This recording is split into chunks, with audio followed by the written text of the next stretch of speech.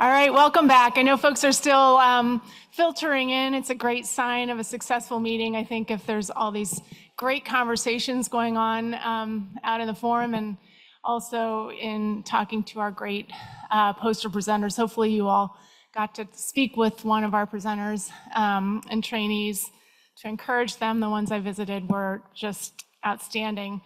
So if you're joining for the first time, we have a really great um, agenda for the afternoon and looking forward um, to being a part of it. Uh, remember to engage with us in social media and then tell me how. and if you do, um, please tag us with hashtag Indiana CTSI.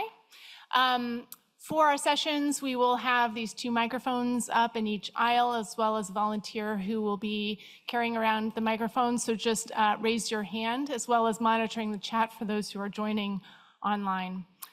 Okay, so to start us off, I would like to introduce Dr. Bernice Pescosolido, who will be moderating our afternoon session.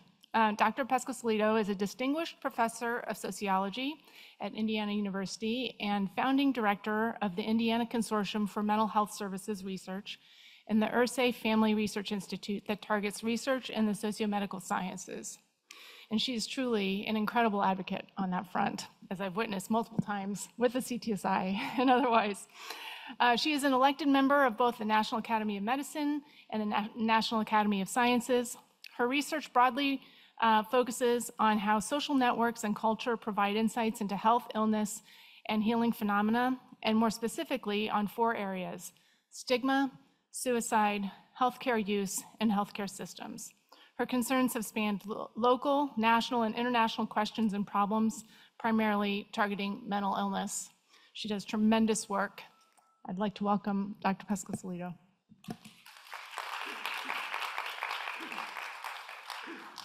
Thank you.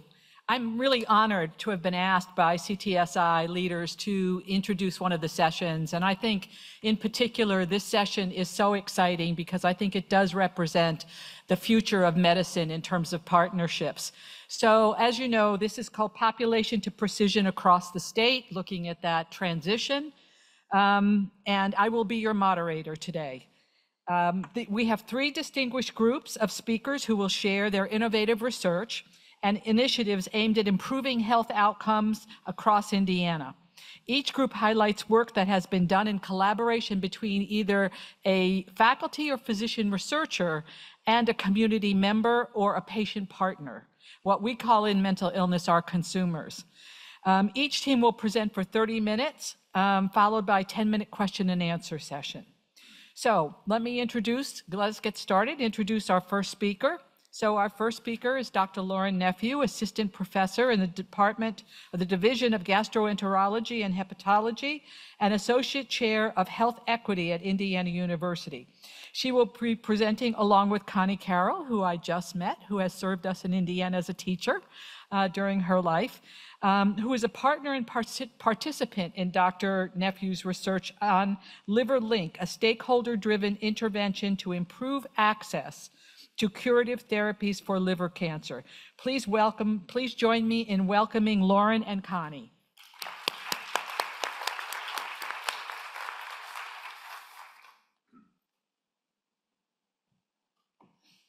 Good afternoon, everyone. And I'm really grateful for this opportunity to share with you all some of our work and even more excited um, to have our kind of interview period after my slides uh, with Ms. Connie.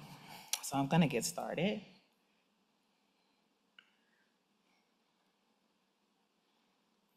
So I'm gonna take you on a journey with me. And so this is the outline for our journey. We will be going through the phases of disparities research. And so disparities research always starts with detecting a disparity, right? You have to define a disparity and identify which marginalized groups are uh, hampered by this disparity. But we don't want to stop there, okay? So the second phase of disparities research is really to understand, understand the determinants of that disparity at multiple levels, at the patient level, provider, health system level. And then if we're lucky, we get funded and we go on to the third box uh, where we're reducing disparities. And reducing is really where I really am excited to be. Um, and so that's developing interventions that act on those determinants uh, and to improve health equity. But you don't get there first. You got to start by detecting. So we're going to start off by talking about um, how we identified this disparity here in Indiana. So I'm going to be speaking mostly today about hepatocellular carcinoma. Um, that's one of the primary liver malignancies. Um, it's largely asymptomatic, unfortunately, um, and that can often lead to late diagnosis in patients. Um, nationally, as you can see in this figure here on the right, um, there's been a long-standing disparity in survival between Black and white patients who have this condition. Um, and that disparity is seen here in Indiana. You can see the figures at the bottom of the slide, uh, that mortality from liver cancer in Indiana um, is disparate by race, with Black patients having almost double uh, the mortality of their white counterparts. So we were very interested in understanding um, if this disparity was here, did we, would we see it here uh, in Indiana, um, and really what um, what was driving that disparity. There have been uh, a lot of SEER database research that identified uh, disparity in survival related to the lack of access to curative therapies like surgery, uh, resection, transplant, which is how we cure liver cancer. Um, but the drawback of the SEER database is that we don't have a lot of the confounders. And so there was always this discussion around comorbidity, liver disease severity, uh, the exact stage of the liver cancer. Um, and without really being able to control for those variables, it wasn't always clear if these disparities in access to transplant or resection were true. And so we really wanted to see one, was this disparity present in Indiana? And then two, would it still be there if we were able to control for some of these very kind of granular um, uh, covariates. And so we, we set out on an ambitious chart review of over a thousand patients um, here uh, seen at the, in the Indiana University Health System. And what we found was that uh, even on multivariable analysis, controlling for everything that we could think of um, that could be a determinant of access to transplant, uh, the odds ratio for access to transplant and resection was still 0.43 in a comparison between Black and white patients. Um, and so you can see that this odds ratio didn't attenuate at all in our univariable and multivariable analysis. And so that led us to believe that there was something else going on other than liver disease severity and comorbidity and cancer stage that was really hampering patients um, um, of color from getting to transplant or resection we did a small subset analysis of the patients who had really early stage liver cancer. And so we call that within Milan um, criteria um, to see how they differed from white patients who were within Milan criteria to try to understand what the differences were between these groups who actually made it to transplant, uh, who were very early and would have been great candidates. And what we found again was that there was really no difference in their comorbidity. Um, there was really no difference in their age. The difference was really in these health behaviors like substance use and alcohol, and that was really driving the group of Black patients um, not being eligible for transplant. And so that really got me to thinking that, you know, I spent this large uh, chunk of time doing this large chart review, trying to understand disease burden and how it may impact access to curative therapies, but I was missing a big piece of the story. So I figure we need to move from just not just detecting this disparity, but really understanding it um, in a deeper way. And I realized before I did that that I also needed to think about my kind of construct or conceptual framework for how I understand disease. When I was in medical school, which I like to think wasn't that long ago, um, this is how we looked at disease, okay? You have behaviors like drinking, smoking, access, uh, lack of exercise, um, that those things all contribute to your um, comorbidities like liver disease. And then your liver disease gets worse and you develop complications and you die. And so that's a real medical model um, of disease. Um, but as I did this project and I really started to read the literature, you know, I really realized that there's so much that's happening upstream of health behaviors. And while they're very important, um, there are, uh-oh, excuse me, there are other factors um, that are equally important. And so uh, the medical model of disease that I was taught was relevant, um, but it wasn't the only aspect of why people develop disease. And so the socio-ecological model would suggest that the biased beliefs that we have, the policies that we have in our country, our practices, all those things contribute to where we live, where we work, where we grow, in our communities. And all those things contribute to people's individual determinants, their socioeconomic status, their education, their literacy, and all of those things drive health behaviors. And so there's a lot that's happening upstream of those comorbidities that I was able to capture from my chart review that we really weren't exploring.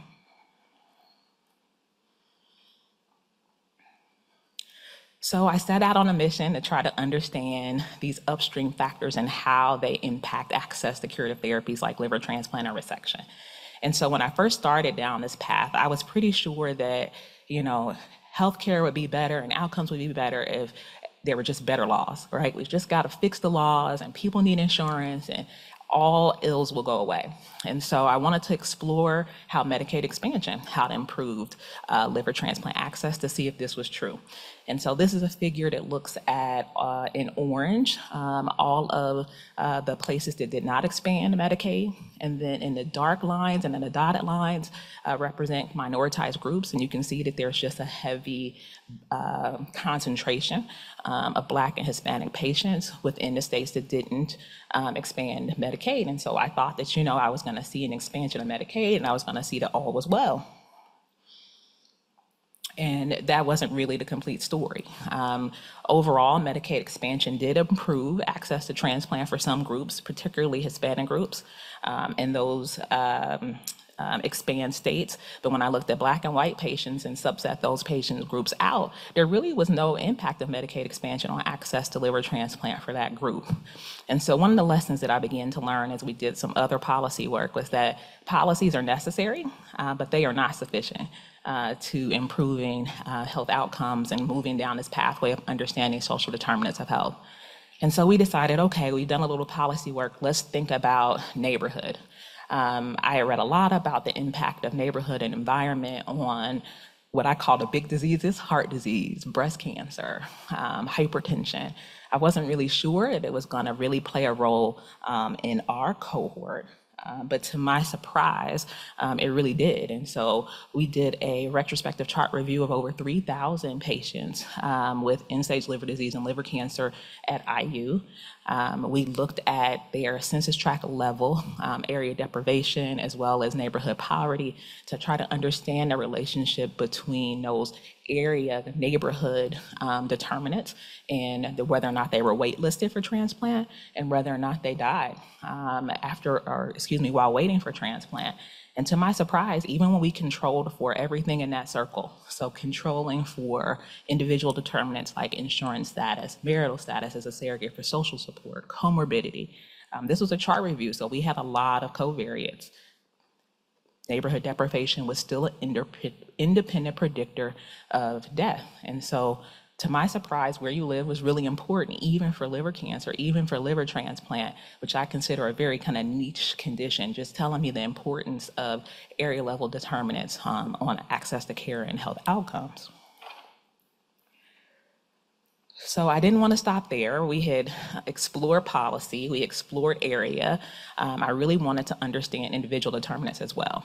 Um, because in our models, we saw that things like insurance status and marital status were still significant even when we controlled for area level deprivation measures like neighborhood poverty. So that told me that there was still something else that was missing at the individual level that I needed to understand before we could develop an intervention. Um, and so we did a, a, prospective cohort study, and this was part of my CTSI KL2 work. if I can give a little plug for the CTSI.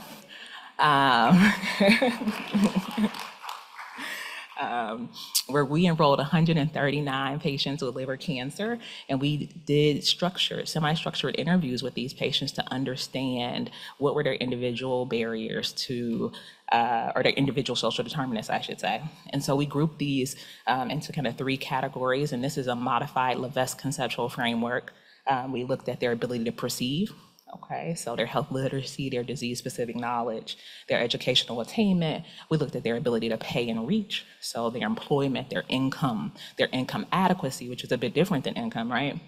And then their ability to engage. Um, so substance use, social support, how activated were they to really be involved in their care? And so we looked at all of these determinants in our liver cancer patients. And what we found was that Black patients um, represented in the Black bars had overall um, a higher number of adverse social determinants. And so you can perhaps see that small number on the top of the dark bar was 5.4 compared to their white counterparts at 3.2. Um, and there was important differences which in each domain. So there was a significant difference um, in their health literacy, um, in, excuse me, not in their health literacy, um, in their income, their social support, um, and those are kind of described in the black bars there um, within each domain of the ability to perceive, reach and pay, and engage. Notably, which, what wasn't different between black and white patients was their adherence um, and their activation. Um, and so I think often when I read papers that are describing disparities, I see the list of potential explanations in um, the discussion for those disparities. And I hear, I read adherence and activation is often explanations. And in our cohort, we really didn't find a difference there. The differences were really in insurance and marital status and, um, and some of these other social determinants of health. We went on to try to understand which one of these social determinants, if any, um, predicted transplant or survival. Um, and what we found was there wasn't really one social determinant, it was the cumulative burden. So the cumulative burden of social determinants was associated with transplant. Um, which that kind of makes sense, right? The more burdens you stack on someone, the harder it is for them to access a complicated um, piece of care like liver transplantation. Um, and then we found actually that of all the social determinants, health literacy um, was associated with survival in this cohort. Um, and so these were things that we really hadn't expected to necessarily see. And so when developing intervention, we knew that we were going to have to think about people's literacy and knowledge, and then we're going to have to think about all of the weight of the social determinants or adverse social determinants that they face um, in trying to access care. So there are disparities interventions that have been successful. Um, and when you look at what has worked, um, we know that multi-level interventions are necessary to improve um, health disparities and to uh, to get towards health equity. Um, we know that interventions need to be cult culturally targeted or at least culturally informed. Um, that team-based care, patient navigation, and working with families are all things that are necessary um, if we're going to develop a successful intervention in this space. And so with that knowledge and what we learned about policy and an area and individual social determinants, um, this was our conceptual model for my K23 which was that there are things that you bring to the table. Um, these things are important, your, your income, your education, your instrumental support, your disease severity. Um, from within the healthcare system, from where I am though, I may not be able to modify those things, right? You come to the table, I may not be able to put money in your pocket or go back and change your second grade teacher. Um, but what I can do um, is better understand your social determinants like social um, substance use and alcohol use, I can improve your knowledge. The debate, there's still a debate, I think, about whether or not you can improve literacy, but I can improve your knowledge related to liver cancer. I can help you navigate care better and overcome some of those multiple social determinants. And so our goal was to create this intervention. It was three parts. I'm only really going to talk to you today about the patient level intervention, which is kind of this um, knowledge intervention because of time today with hopes that we would improve people's access to resection or their access to the wait list for liver cancer and liver transplantation. So when developing an intervention, um, I knew that I wanted to bring patients into this um, discussion. Um, I didn't want to just come up with something. And this was a challenge to write an NIH grant where you tell them you don't know what the end is going to be um, that you're going to develop an intervention, but I don't know exactly what it's going to be because I don't know what patients want. Luckily, it worked out. um, and the research jam in our CTSI core here helped us to frame that kind of black box um, so that it sounded reasonable. Um, and so we decided to use human-centered design uh, research methods, working with the research jam here. Um, and what's um, different from human-centered design research over kind of focus group research is that the stakeholders are involved at the very kind of throughout the whole process. And you don't just ask them questions, they actually participate in activities. And through those activities, they often realize unmet needs that they didn't know that they even had if you were to just ask them, um, tell me what your barriers are to liver transplantation. And so by working through these activities, um, you learn a lot about what are their barriers to accessing care. So this was the study design for developing that portion of the intervention.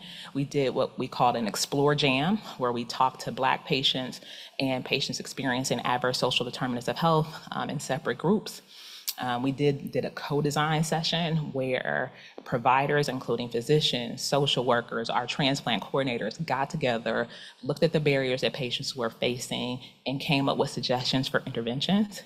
And then we took those intervention suggestions back to the patients to say, hey, what do you think? How do you think we should modify these things? And then we actually took those interventions to a collaborator at Hopkins so that we could see, is this transferable?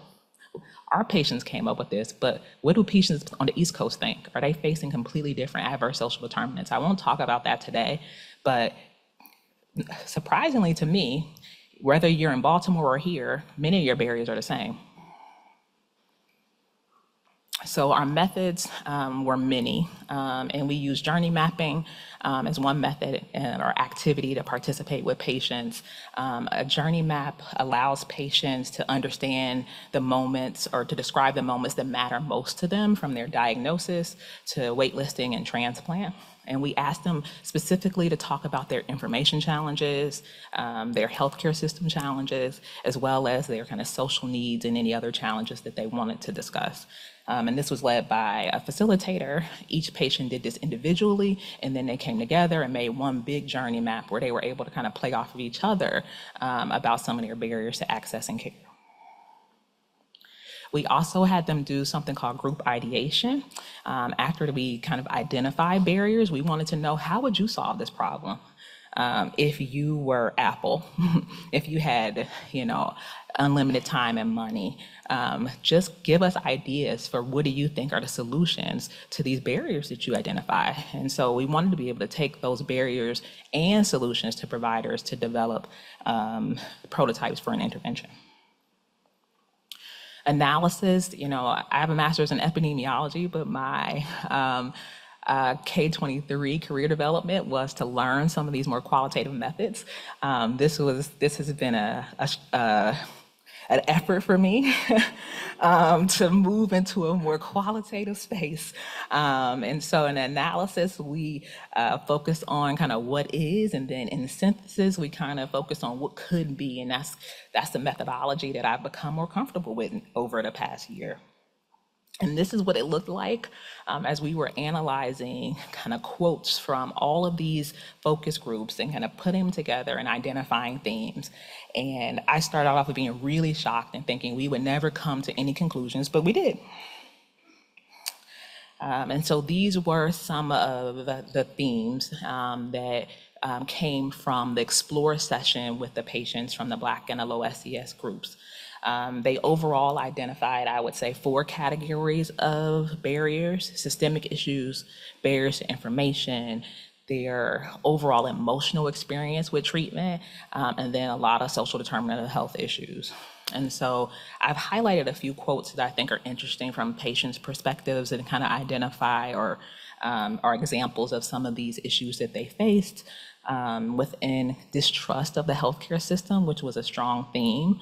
Um, patients said I kept questioning whether they were really doing what's best for me or just following some protocol. Um, within information, patients said it was so much information, I felt overwhelmed and couldn't process it all at once. Within their experience of treatment, one patient said, the medication made me feel horrible and I wasn't sure it was worth it. And then within the social determinants of health sphere, one patient said, I constantly worried about how to pay for my treatment and other bills all at the same time. And so these were the kind of overarching barriers that patient identify. And I think that I had not realized how large the emotional toll um, of treatment and recovery really was taking on patients in both groups. And so that was really something that we hadn't really set up to deal with actually in our intervention. This is a diagram that compares um, what our Black JAM patients said reported over the other JAM with our adverse social determinant of health patients. And many of the themes were the same. So when it came to um, information and education, both of them said way too much information, not given to me when I need it. Um, distrust only came up in our Black patient group. Um, and I think given what we know about um, access to or healthcare um, in kind of distrust more globally around other conditions, this may not be surprising to folks. Um, the emotional burden disease, um, that psychological and emotional concerns was really strong in our Black patient group.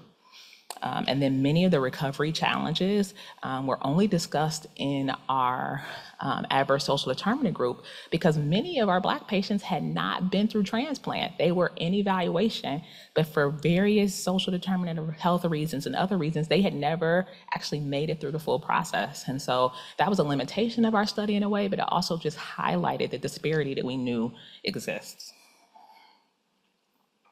These are some of the solutions um, that patients came up with um, to the barriers that they identify. Um, and so they told us they want some type of communication, no matter what it is, just to say that the labs are good. Um, even if they're normal, they want to know, they want to be involved. Um, they told us that they needed the doctors to have more empathy um, and to be more personable, but not too personal. Um, they said that they wanted um, support. This was the major theme. Um, they wanted to speak to a patient who had been to surgery before. They wanted to be a part of groups and hear about what to expect from patients, not from us. They wanted help understanding medical terminology. Um, they wanted something to be able to refer back to when they got confused. Um, and so these were some of the things that were high priorities for them um, in terms of things that we needed to work on. So we took those barriers um, as well as um, those solutions uh, back to our providers and we asked them um, to go to work. Um, and so, how might we better support patients emotionally? Because we hadn't thought a lot about that. And how might we better communicate information? Knowing that we couldn't target everything, those were two themes that seemed to be really on the top of the minds of both patient groups. So we asked the providers to participate in something called brainwriting. Um, that's where you really just prioritize the quantity of ideas over the quality. Anything that sounds reasonable, not even reasonable, anything um, that comes to mind, they write it. Um, and then you dwindle it down to things that sound more reasonable um, as you go. Um, and so before doing the brainwriting, again, the providers were provided with what we had learned from the Explore session to inform um, their discussion this is not meant for you to really be able to see um, all of the ideas that they came up with, um, but just to get an idea for um, just the breadth um, of solutions that providers came up with when they were kind of given this information about patients. Um, and so we were able to take their kind of uh, suggestions and distill this down um, into three potential prototypes. Um, one was a treatment roadmap that really described the process more linearly. linearly. Um, one was a tailored education course um, that really um, gave patients information in more bits and pieces instead of trying to get everything out on the first visit.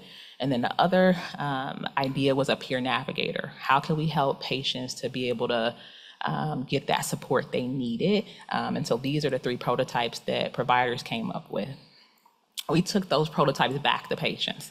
Patients didn't love the peer navigator. I was really disappointed. Um, there were lots of concerns about who they would be matched with. Would this person be the right person? Would this person really be um, wanting to know their medical information? How informed would this person be?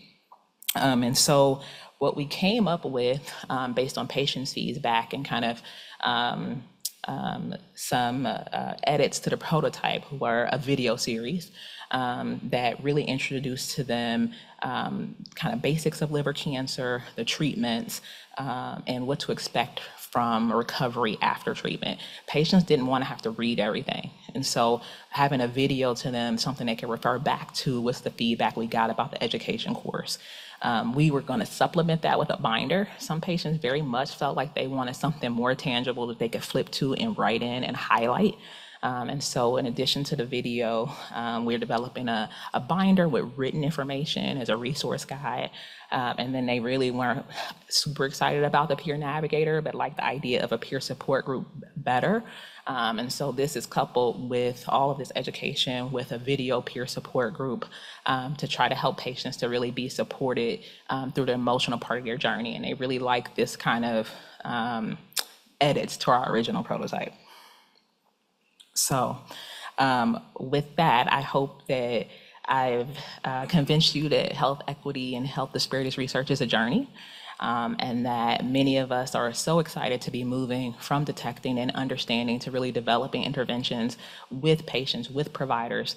Um, and if you are, um, under, once you understand those determinants, um, then you can engage with patients and providers to develop solutions. Um, this research has to be pragmatic. Um, you have to sit down and talk to patients. Um, it is not quantitative all the time, and that is okay. Um, it's multidisciplinary, all types of people from communications, from qualitative research, physicians, all coming together um, to make this work. It takes a long time, uh, but it's worth it. And so I'm very excited um, to talk to you a little bit more uh, with Ms. Connie um, about her uh, role and how she participated um, in our research.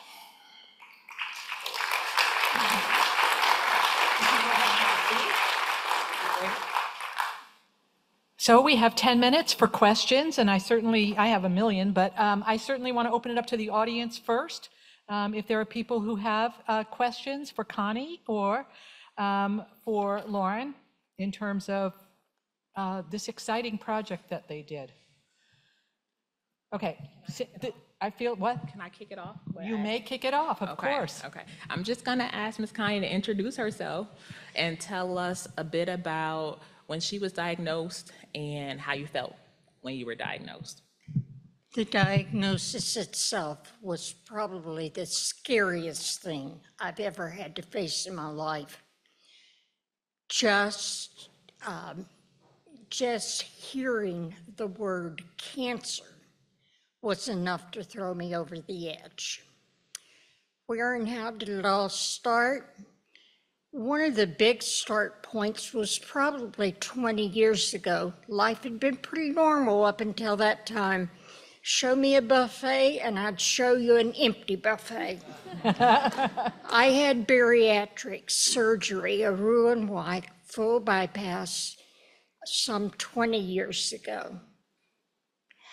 I really think that the liver process, the NASH that I encountered, was started back then. That was a life changing incident, not about the weight loss, but about how I had to look at food. Um, my direct beginning of the liver process began with our good old Eskenazi down here, um, a kidney stone that took me to emergency one night. That kidney stone was worked on in surgery that same night, and one of the stones exploded and sent my body into sepsis septic shock. I spent two months in the hospital, a month or more in rehab, and the first full month I was on a ventilator. My family rallied from every place. It was so fantastic to know that I had the support that I needed. This whole hospital stay and the kidney stone then sent me to follow-ups. There's a GI doctor, there's a lung doctor, there's a heart doctor, there's this and there's that. And finally, my GI team sent me to Dr. Lacerda and the IU team that are liver transplant surgeons. I told the good doctor, I says, whatever you do, don't use that C word on me. We didn't until we got a permanent, full-time, guaranteed diagnosis of a cancer within my liver. I did the radiation implant, got that done, followed and jumped through all the hoops that that binder had in it, every doctor's visit, quickly, because we were not going to deal with that C word anymore. I was placed on, got full approval to go on the transplant list in April, three years ago. June the 4th, three years ago, April, May, and June. The 4th of June, the day after my birthday, the doctor's team called me and said, We have a good possibility. Are you interested? Took me about 30 minutes to get a shower and get to the hospital. Not without complications after the procedure. There were. But with the help of that family, that family of mine, and the help of that team, I did it. And liver issues are no longer a problem. Um, I even quit using alcohol in my mouthwash. I mean, it's gone. I don't take NyQuil anymore. Um,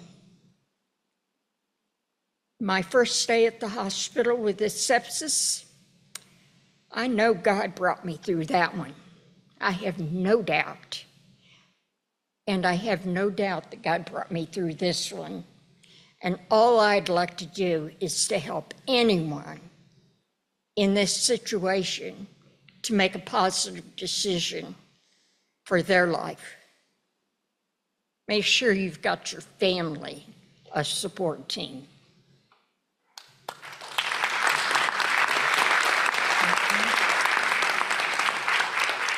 Well, let me follow on that, Connie. What would you say to others who are considering participating in the kind of research that you participated in with Dr. Nephew? Oh, with the um, group sessions in the evenings, those were so much fun. I learned so much.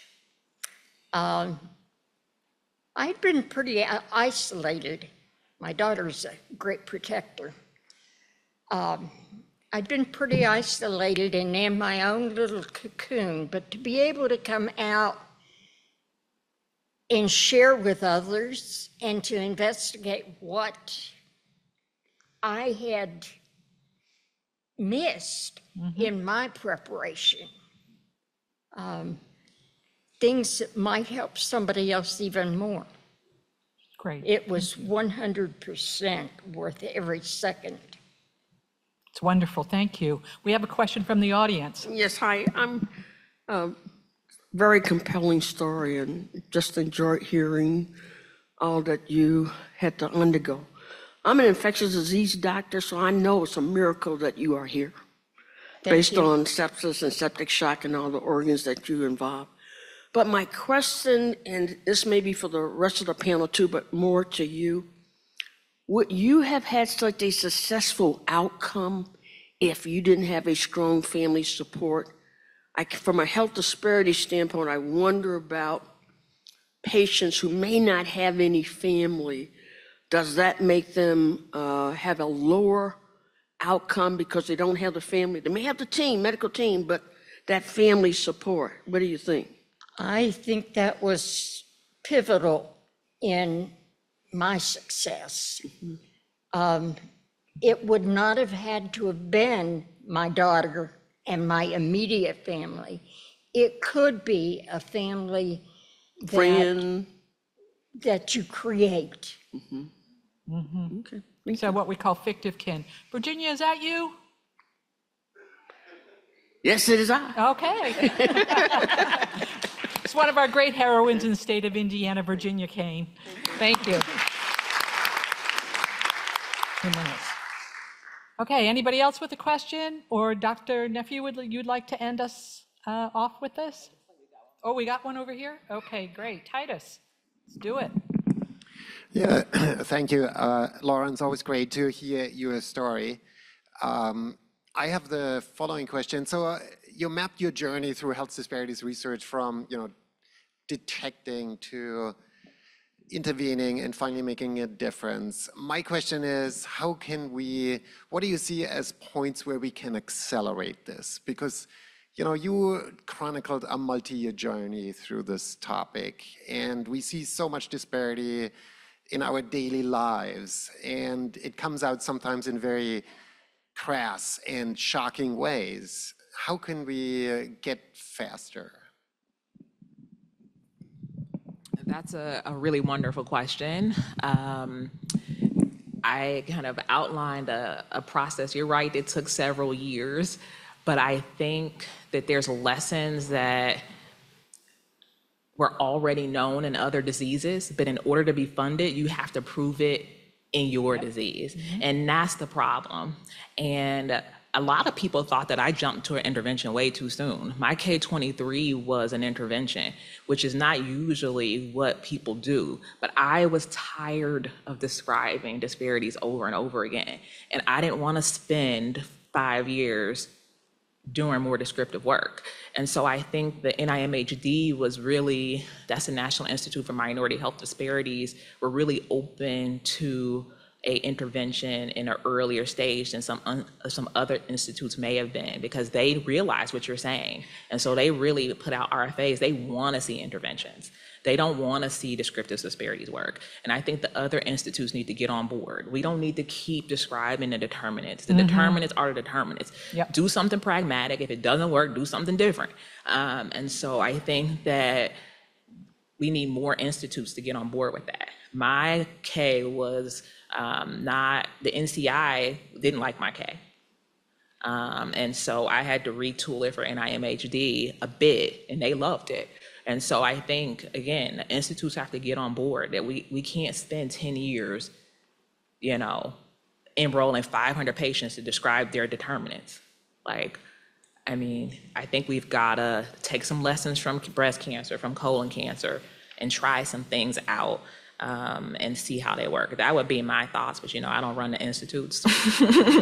Maybe someday though, Lauren, we can, we can count on you to do that, right? Bring that wisdom. Well, thank you, Lauren and Connie, for, I, I think what is really pioneering collaborative research. So uh, we need to move on to our next um, speaker.